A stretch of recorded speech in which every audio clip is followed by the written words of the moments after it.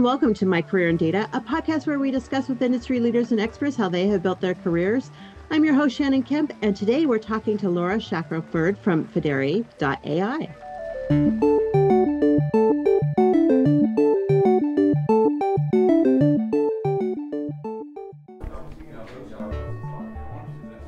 With a robust catalog of courses offered on demand and industry leading live online sessions throughout the year, the Dataversity Training Center is your launchpad for career success. Browse the complete catalog at training.dataversity.net and use code DVTalks for 20% off your purchase. Hello and welcome. My name is Shannon Kemp, and I'm the Chief Digital Officer at Dataversity. And this is my career in data, a Dataversity Talks podcast dedicated to learning from those who have careers in data management to understand how they got there and to talk with people who help make those careers a little bit easier. To keep up to date in the latest in data management education, go to dataversity.net forward slash subscribe. Today, we are joined by Lara Shackelford, the CEO of Fidere.ai. And normally, this is where a podcast host would read a short bio of the guest. But in this podcast, your bio is what we're here to talk about. Lara, hello and welcome. Thank you. So good to be here, Shannon. Oh, I'm so excited to get to hear more of your story. We recently met through LinkedIn. Uh, it was mm awesome. I love when people reach out to connect and uh, and have had some great conversation already. So so tell me, okay, so you're the CEO of Fidere.ai. So tell me what type of business is Fidere.ai? Fidere.ai is an AI strategy firm. We focus on helping uh, we, we um, for organizations drive their AI first strategy so moving from anywhere from where they're just starting to experience uh, experiment with AI, they could be further along in the in the progression, and maybe they're an AI adoptive or even an AI integrative organization. But we help them get to where they're AI first, and they're able to use AI to both explore and exploit. Um, the exploit is let's drive efficiency with the parts of our business that we're focused on today. And then when we create efficiency, we've got space and time and insight, more insights from data to be able to look and see where there are other um, opportunities that we can explore and um, and drive, you know, into new markets, new segments, all those great things. Well, with the uh, the boom of generative AI hitting mainstream media, that's got to be a lot of companies looking to hit the panic button and and decide to start implementing an AI strategy. It is it is so fun. It is um, you know I I I compare it to a bag of popcorn. It the last uh, I started this in January and it was building blocks, right? And there's still some blocks that are being built because it's new and we're small and running fast. But um, it was all of a sudden it just felt like all those kernels were just right there and you were just like the last ones were coming and we popped the bag open and now we are it, it is it is so good. Um, organizations are that you know making the move to their to ai they are realizing they have to have their ai strategy. And many times they don't even know exactly why or what they need. They just know that they're going to be left behind if they don't have one in place. And it's just the groundswell is there. So that's an exciting time. Oh, very exciting time. And I love that visualization of popcorn popping. that, that's so perfect. that just explains it very well. Um, so so as the CEO, so what do you do for for your company? So what I do for the company as CEO is, you know, when you're a small company, you're doing everything. So uh, about 10 minutes ago, I was on the phone with one of my business partners who I worked with at Oracle 20 years ago, and we were revising the sales deck. About an hour ago, I was on the phone with one of my other business partners who I recently met from doing my master's degree at Oxford. He's one of my classmates. And we were fixing the website, which um, is still being fixed, by the way. So it's, um, I think it's all that in a day's work. And before that, I was um, working with a client where we were going through a statement of work and putting the finishing touches on which of three options they're going to take to move into that you know progression from an ai adaptive company to moving from to ai first so it really varies but the fun thing about being a small organization and new is that i get to have my hands in everything Uh, I love it. So, and and you've kind of touched on and hinted at that you're a co-founder of the company. Um, but I want to get into that. I'm going to come back to that in a little bit here. So, before we get into that, so tell me, Lara, is this what you wanted to be when you grew up? Did you think to yourself at six years old, like, I'm going to grow up and I'm going to be a co founder of this AI strategy company? What was the dream? I've never told this story on a podcast ever or any in a talk nowhere. I wanted to be CEO. I did want to be CEO and founder of a fashion design company and retail store and my flagship store, I grew up in Missouri in Kansas City. So my flagship store was going to be in Lake of the Ozarks.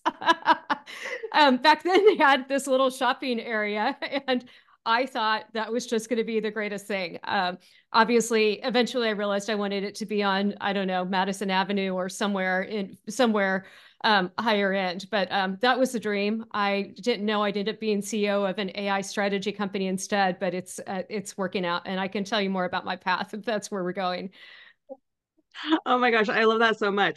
Uh, that was uh, initially my when I was six. Probably I wanted to be either Wonder Woman or Ella Fitzgerald. Um, wow, I would I would take either of those or both in one. Both, right? but um but uh, but my first business plan that I wrote when I was 12 was for a retail store, was a fashion oh, wow. retail store. Yeah, because I grew up in Nordstrom stockrooms, and um, so Nordstrom was was my model there. How neat! Well, maybe yeah. you and I will start a business on the side. I love it. so funny. So I can I can totally relate. I love that dream so so tell me so then as you but as you got older you know what did you um study in what did your interests go to towards and so how did you progress into your career and your first job sure so I, I i did follow my dream and i majored in fashion design and I got a job uh, when I interned with Nicole Miller at the time. Nicole Miller, she's still wow. around, and I yeah. think she's amazing. Um, yeah. She was just, you know, a, a, for a young woman who grew up in Kansas City, Missouri, to go spend a summer at. I was one of her six people in her design team, and to get to go, she I got to be on Lifestyles of the Rich and Famous. I also don't tell that story, um, but she was featured, and she you know put me on as though I was shopping in one of her stores. There were and it was it was more than that. I got to go back and produce, help produce. I was very minor in the whole scheme of things, but I got to help on her fashion show that fall it was wow. the opportunity of a lifetime um, and i loved it. And i just i went and graduated from college and she had offered me a job and i was all excited and i hit this moment of panic. And you know the whole i don't know if it was the imposter syndrome but in this case in 1993 to be a great fashion designer you had to be a great great at drawing and I wasn't good at drawing. I was really great at ideas and I was a hard worker. So that's how I got my in. But even Nicole, when she interviewed me for my internship, she said, I'll hire you if you never make me look at one of your drawings again. so my panic was, yeah. oh God, what if I what if I end up doing this job for 30 years and I never make more than $17 an hour because I can't draw? And um, and at the time I re- read about Levi Strauss having this aspiration statement, and I thought, well, there's a place I I know I can succeed in corporate, and I thought I can go to Levi's, I can get into design, and I can also be a corporate person so that I can use those skills and not have to you know compensate for the fact that I cannot draw. And so that's what I did. And it, it's another podcast to tell you how I worked my way into Levi's. That it's a funny story, but for another time. Um, but uh, that led me to the Bay Area, working for Levi's at their headquarters there, which of course, once you move to the Bay Area, you have to find your way into tech. It just happens. Um, yeah. I ended up answering phones for Oracle, which was the best way in the world to learn the tech industry. Um, and from there, wound my way into business development roles and marketing, um, I wanted to lead a marketing organization. So I kept going, you know, I checked off the box and now I led product marketing. Now I led demand gen and I went and did every function. And at some point I became a CMO and I thought, okay, now I want to be a CEO. And that was 2012. And it took me um, uh, that long to get the guts, you know, and the courage to go and do what I'm doing. And then when AI popped to a year, what was it, 2020? Anyway, 2022, when Gen AI, I should say, um, became more mainstream and available to everyone, I thought if I don't take this opportunity, I'll never do it. So here we are. Oh my gosh, that's amazing.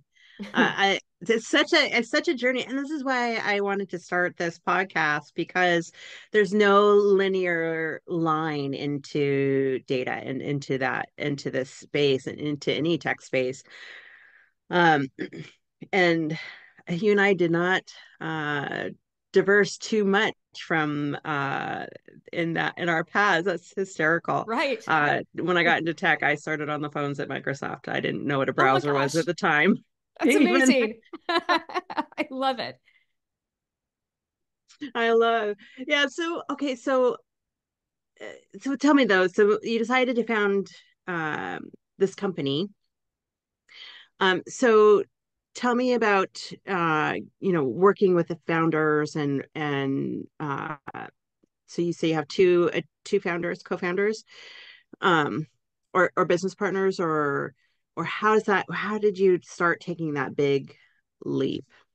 Yeah you know i was i was at intel and i i just felt like like i said when i saw everything happening in ai i thought i the part of my career i've loved the most has been the data aspect of my career when even back at oracle um, when I was answering phones for Oracle, I was the partner network, and people were calling and buying development licenses to build um, internet applications on our database, if you can imagine. Yeah.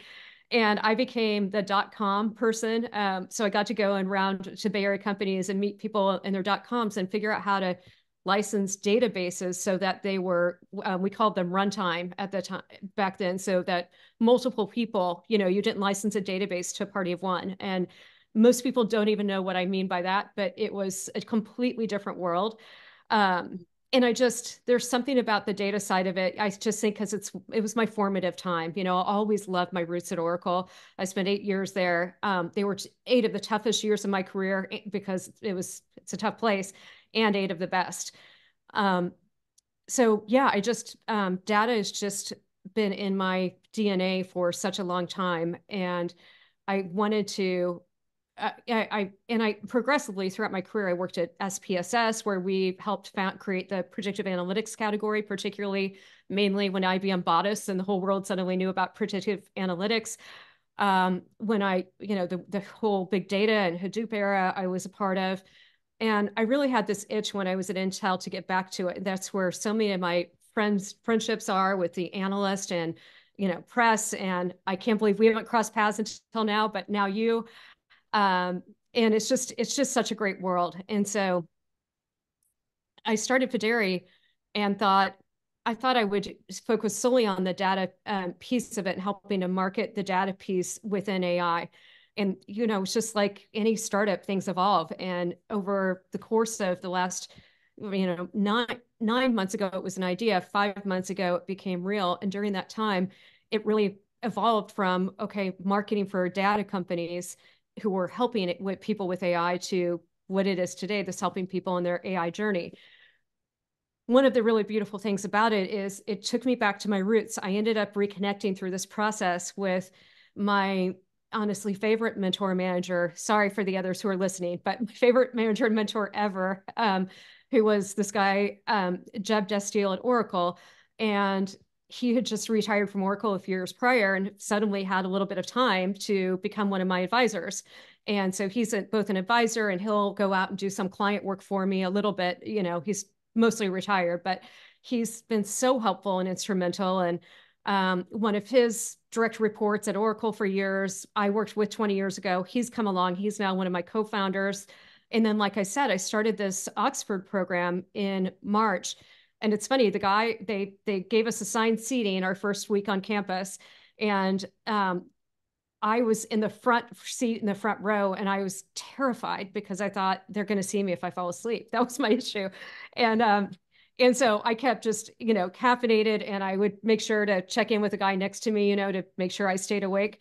And anyway, that guy now is uh, Vikas. He's one of our my co-founders, and so you just never know where your path leads you. But it's this beautiful mix of people I've had a relationship with 20 plus years and um, and people that I've just met, but we're in this really close working space of this program where you know you have to read eight books in two weeks and you're all kind of sink and swim together. Oh, that's amazing. I love that. Um, and so it was it was kind of more uh, uh circumstantial that it, it all came yeah, together. Very yeah. organic. I didn't yeah. expect I didn't expect this at all. I thought it would be me and one other person, an analyst, and we're we're uh, it went a completely different direction, and it's wonderful. Visit dataversity.net and expand your knowledge with thousands of articles and blogs written by industry experts, plus free live and on demand webinars covering the complete data management spectrum. While you're there, subscribe to the weekly newsletter so you'll never miss a beat. Oh, I love that you're open to to the evolution. Um, it's so. Tell me, um, how do you how do you personally work with data in your typical work week in your role as ceo and uh, founder of this amazing company mm-hmm.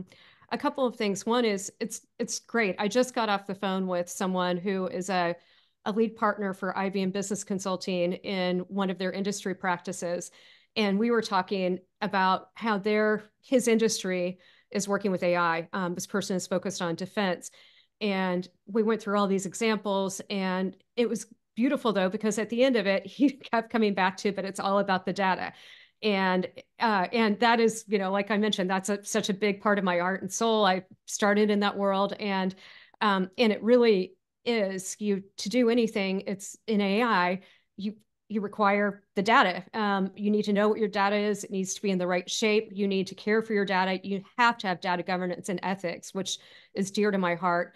Um, and so I get to look at, for instance, if I want to, I've got a company I was talking to this morning, and we identified uh, recruitment at their consulting firm. And so we said, hey, we should probably help you with recruiting consultants. And as one of the primary use cases, and here are a couple that we could look at. Well, to do, to do those use cases for them, we have to have their, you know, their IP is this database of, of consultants.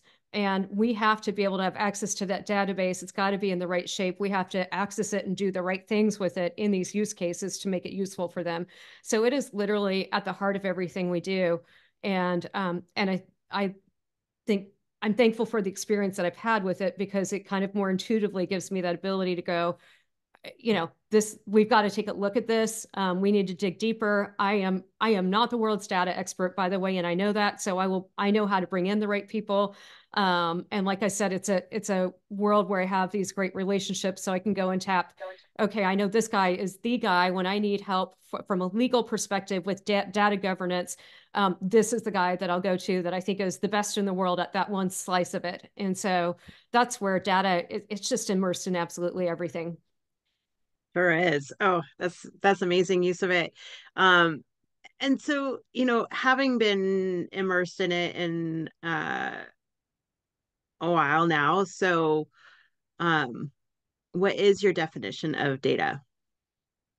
I was considering this before we had this conversation, and I I did not come up with a good answer. I mean, my gut reaction, what I wanted to say was, data is the most precious resource of any company. It is the it, is the goal. I, you know, I'm not going to say data is the new oil. I actually hope people will stop saying that because it's not. It's it's uranium. It can be used for great good, and it can just you're hoarding it and do bad things with it.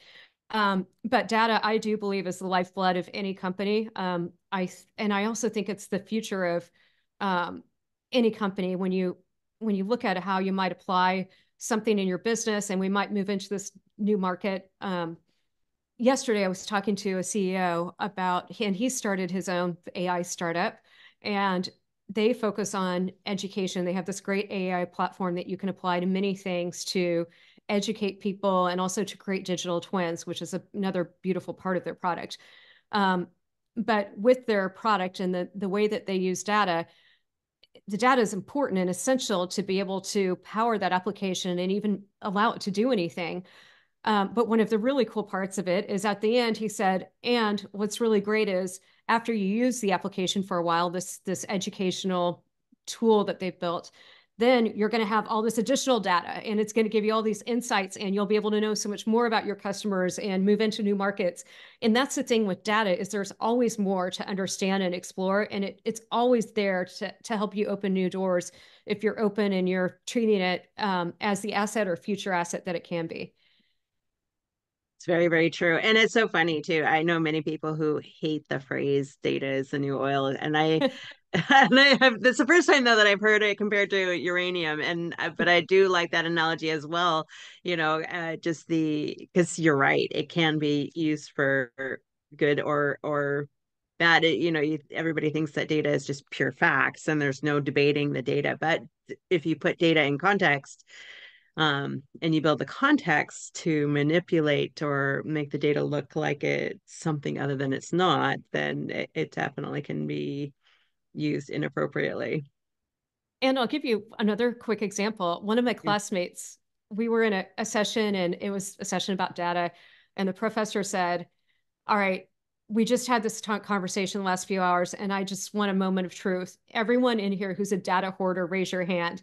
And I thought, no one's going to raise their hand. No one's a data hoarder here. And uh, several people did. And one of them was this woman who I've built this friendship with, and I have such deep respect for. And my jaw was on the floor because I thought, no way, are you hoarding your data? And she's might listen to this and um and uh and poke me later, but uh, I don't. That might not be the right term. But anyway, um, she uh she said, well, I'm in this unique organization where I can't even. It's very private and confidential, but in our organization, we are always trying to figure out new markets and help people new, move into new businesses. And I don't know what the application of my data might be in five years. It might be something that is completely unknown to me, where the data that I threw away, you know, a year ago is something that I could have used in the future. But at the end of the at the end of the day, she ended up saying, "Okay, you know what? I've got to let go of some of the data because again, it can be used for good and it can be used for evil. And, you know, we want to stay on the, on the good side of that. Oh, that's so funny.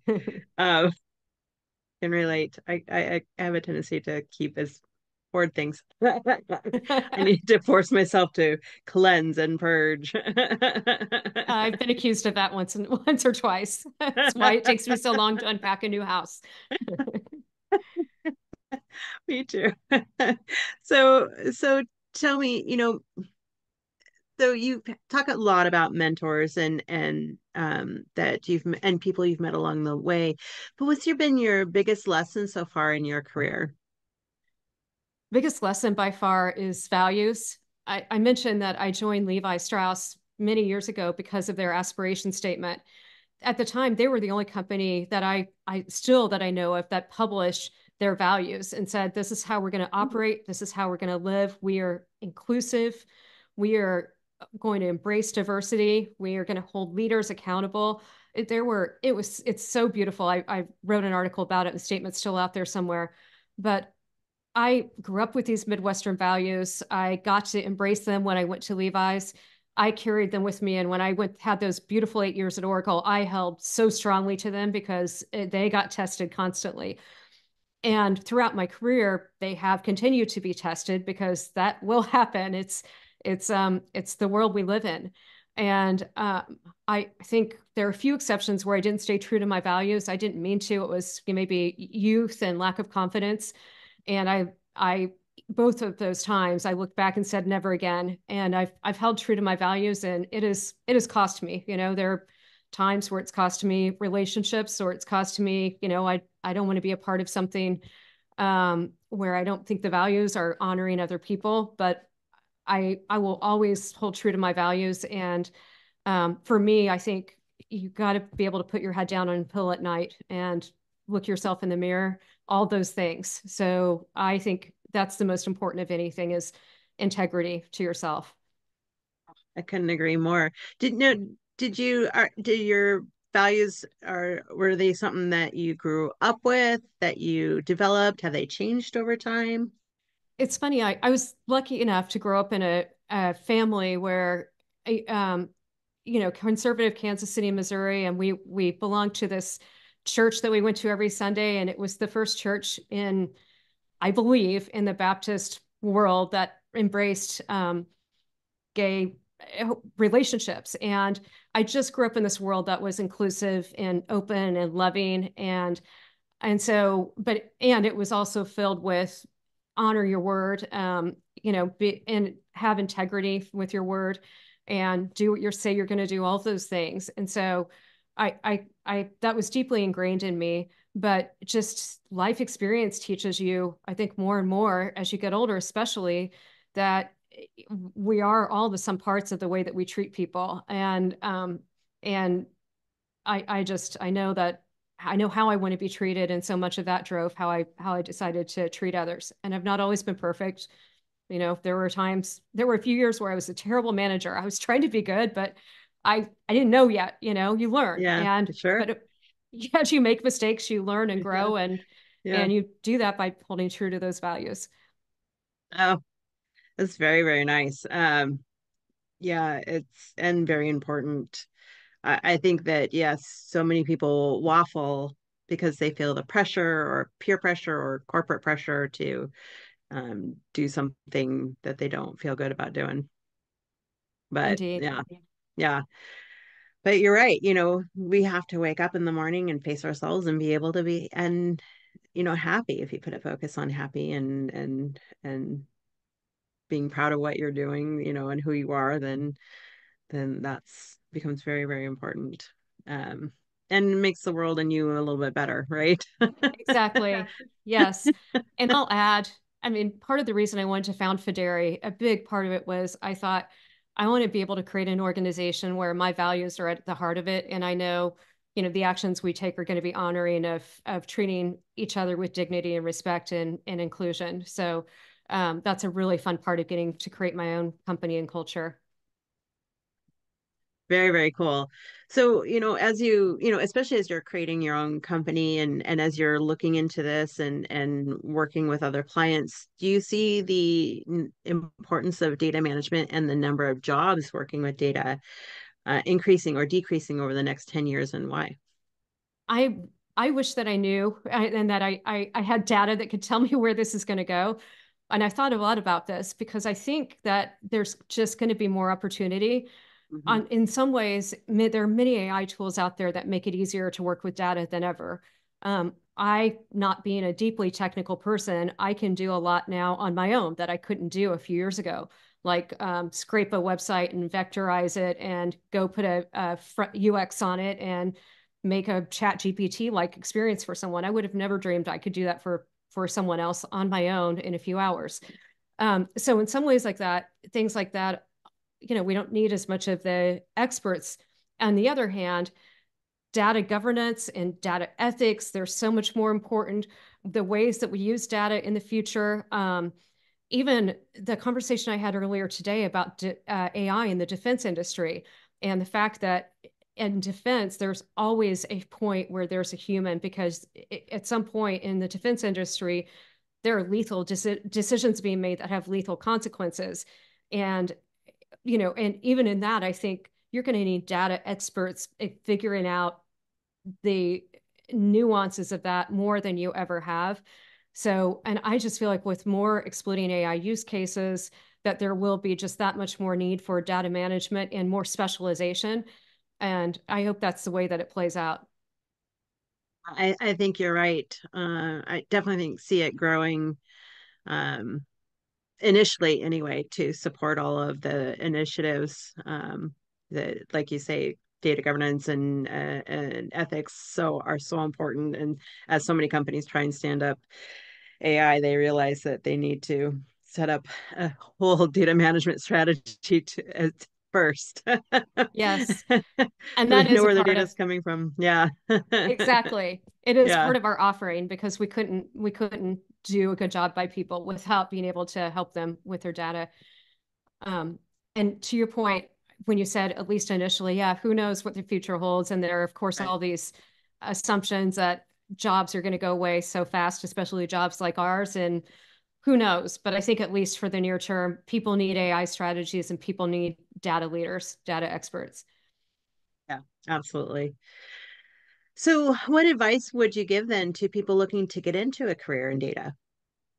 I think get your hands on it, and uh, as as even it's not funny. My first job at Levi's didn't end up being in design because my path in was for being a an analyst.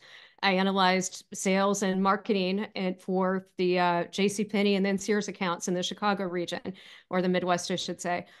But eh, the data, I never thought of myself as a data person coming from fashion design, but it was all data. And the only way that I figured it out was I would just sit on weekends and I would look at the spreadsheets. And, and back then it was green sheets, and I'm not embarrassed of that. I'm proud of it.